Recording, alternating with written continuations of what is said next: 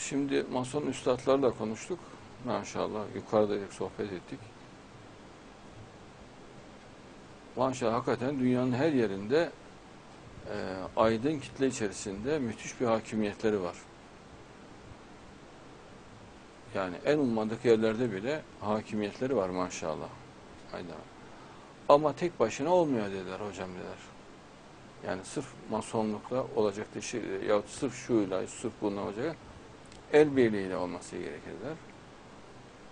Kardeşlik, sevgi, barış, demokrasi, sanat, iyilik, güzellik, estetik, nezaket, zarafet, güzel olan her şey. Allah Allah. Engelleniyor bu ya. İnanılır gibi değil. Ya bırakın cennet gibi olsun dünya. Yani niye rezalet olması gerekiyor? Niye kan dökülmesi? Niye ağzı bozuk konuşmalar olması gerekiyor? İnternete giriyoruz. Aa, o ona küfrediyor, o ona küfrediyor. Ya kardeşim o sana iltifat etsin, sen ona iltifat et. Güzel resimler koy, güzel insanlar olsun, güzel insanları öv. Yani Suriye'de niye kan aksın kardeşim?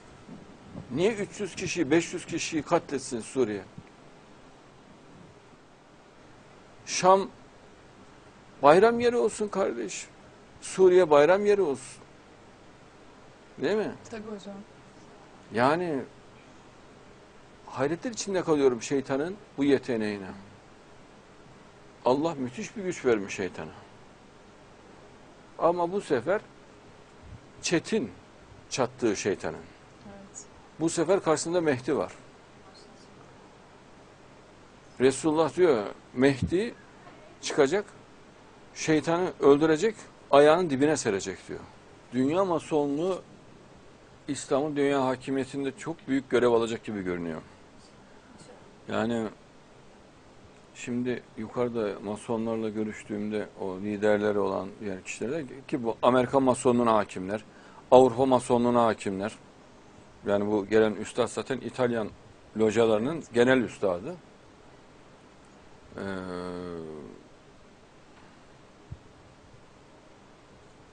benim gördüğüm samimiler. Yani Allah inancında samimiler. Hakikaten dünyanın barışa, kardeşliğe, sevgiye doğru gitmesini istiyorlar ama tek masonlukla bunun olmayacağı belli dediler. Yani sizlerin katkısı çok önemli dediler. İşte Allah masonları, rotaryenleri, rotarakları, diners, işte Lions Kulüp falan hepsini, tarikatları, cemaatleri hepsini vesile edecek gibi görünüyor. Sonuçta gereksiz yere bu uzadı aslında insanlar boş yere acı çekiyorlar. Yani eee 3-5 tane enayinin yüzünden dünya gereksiz bir ızdırabın içinde. Genç kızlar mutlu değil, genç delikanlılar mutlu değil, insanlar mutlu değil, dedeler mutlu değil. O onu ihbar ediyor, o onun canını yakıyor, o onu korkutuyor, o onu üzüyor. Kolayca sevgi, barış olacakken, kolayca neşe ortamı olacakken bu engelleniyor. Mesela düğün yapmak çok kolay bir şey. Bir salon tutuyorsun, akrabaların, dostlarını tanı çağırıyorsun. Saz ekibi de geliyor, eğleniyorsun. Gayet şahane oluyor. Biraz üşenmekten şeytanın yoluna yol açacak şekilde gayret ediyorlar. Önünü açıyorlar sü- sürekli şeytanın. Nefislerine uyuyorlar. 3-5 tane yobazın kavgacı deli ruhuyla dünyayı birbirine katıyorlar. Bak Suriye'de hükümet psikopat. Halktan şüphe ediyor. Özgürlük vermiyor insanlara. Dehşet ortamı var. Mısır'da da sevgi yok. Ürdün'de de sevgi yok. Bir garipliktir gidiyor. Bir tane lider olsa, tek bir tane lider, herkesin sevdiği lider, radyo, televizyon, internetle bütün dünyayı bir ayın içerisinde mükemmel hale getirir. Çünkü bütün mesele psikolojik yönden iyi olmalarını sağlamakta. Tabii. Yani çünkü yiyecek sorunu yok insan hep kilodan ölüyor insanlar. Evet, Herkesin evi barkı da var. Sadece mutluluğu yok insanların. Neşesi yok. Sevinci yok. neşe için çok geniş bir yere ihtiyaç yok. Mesela bura 10 bin metrekare olsa ne olur?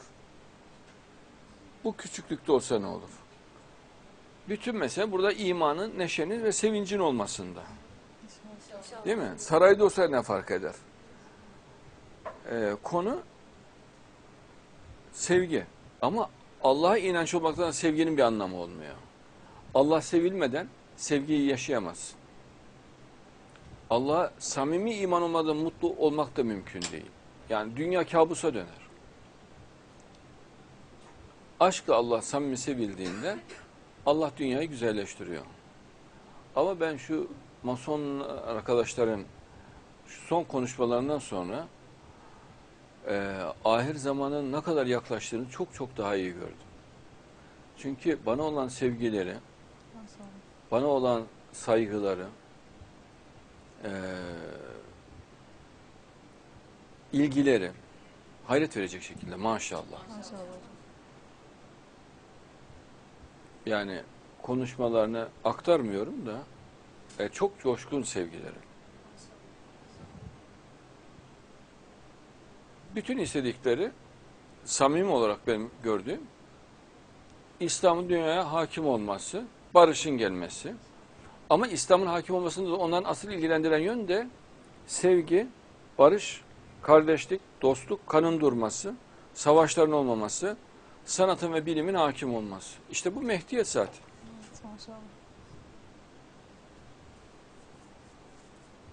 Masonluk tabi bizim anladığımız anlamda dindar değil yani.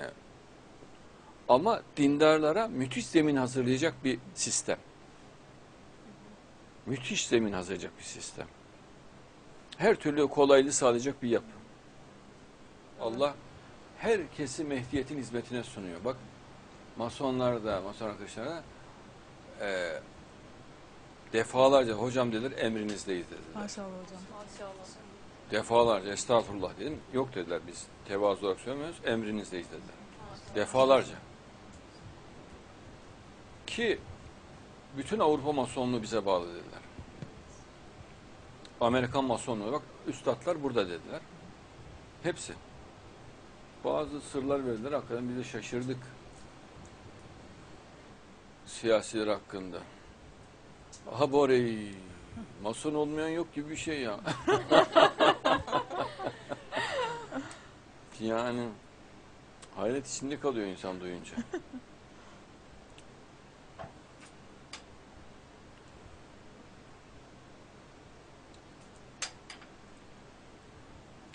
Benim mason madalyam nerede? Yukarıda mı kaldı? Getirin göstereyim madalyamı İnşallah. inşallah.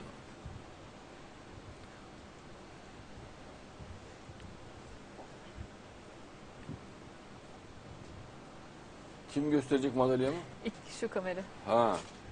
Niye küne? Hani küne?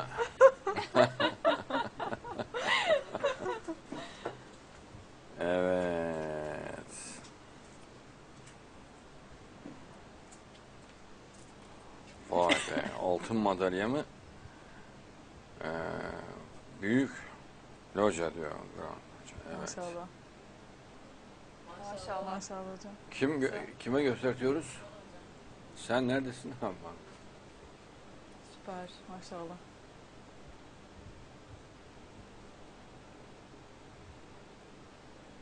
Efendim.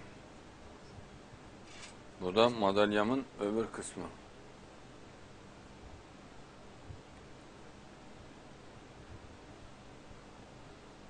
Evet. Yani başka olaylar da var da şimdi nasıl söyleyelim bilemiyoruz. yok yok kötü mü olayım ben ne lazım. İnşallah. Efendim. Yine büyük locanın efendim görünüyor mu?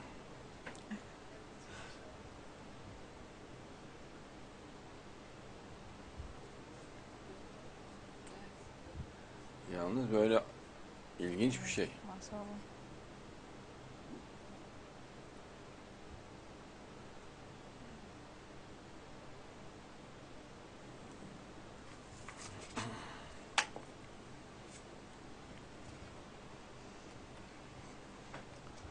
Yani masonların üstadı azam olan bir insan bütün masonlar adına, Avrupa masonlar adına gidiyor. Ve hocam diyor emrinizdeyiz diyor. Maşallah. Maşallah. Bu Allah'ın İslam'a ve Müslümanlara nasıl insanları yardımcı kıldığının açık delili. Umarım bu gece cevaplandırırsanız sorularım. Çünkü izliyorum size çabalarınız, gayretiniz ve fedakarlığınız için size teşekkür ediyorum. Henry Püye. Çocukları öldüren, ülkeleri mahveden olur mu? Yani şiddetle savaşa karşıdır masonluk. Ha, ateist masonlar, manyak masonlar yok mu? E var. Evet. Şeytana tapan masonlar yok mu? Var. Ben Allah'a inanan masonları dost arkadaş olarak görüyorum. Tapınak şövalyelerinde de manyaklar var. Mağaralarda falan toplanıyorlar yani adamlar. E, yarasa kanıyla elini yüzünü boyuyor falan. Manyak onlar. Ben onları demiyorum. Nasıl Müslümanın psikopatı var? Evet. Manyağı var. Yok mu Müslümanların manyağı? Müslüman Tabii. e cayır cayır yakıyor Müslümanları. Tabii evet. Hendeğin içine dolduruyor. Ağaç dalını yakıp adamın üstüne atıyor. Adam yanmıyor, tam iç, kanaati gelmiyor, ayağına itiyor. Bir tane daha ağaç dalı yakıp üstüne koyuyor, kafasının üstüne koyuyor. E bu manyakla ateist masonun ne farkı var? İşte aynı. Yani Müslüman manyağıyla mason manyağı iç içedir. Masonun da iyisi vardır, Müslümanın da iyisi vardır. O mantıkla bakacaksın. 2012'de tapınak şövalyeleri dediler ki Müslümanların hizmetindeyiz. Dünya masonlarının en önde gelenleri geldi dediler ki hocam emrindeyiz. Şimdi önümüzdeki günlerde yine büyük bir ekip daha geliyor. 33 derece masonlardan oluşan bir ekip. Ve yüz binlerce üyesine mesela bu dünkü toplantıyı ulaştırdılar. Şimdi beş tane daha CD verdik. Bak yüz binlerce üyeye ve e, binlerce locaya bu bilgiler akıyor şu an. Ve bütün localarda emrinizdeyiz diyorlar. Maşallah hocam. E kardeşim olağanüstü bir şey bu. Tabii. Çok çok olağanüstü bir şey bu.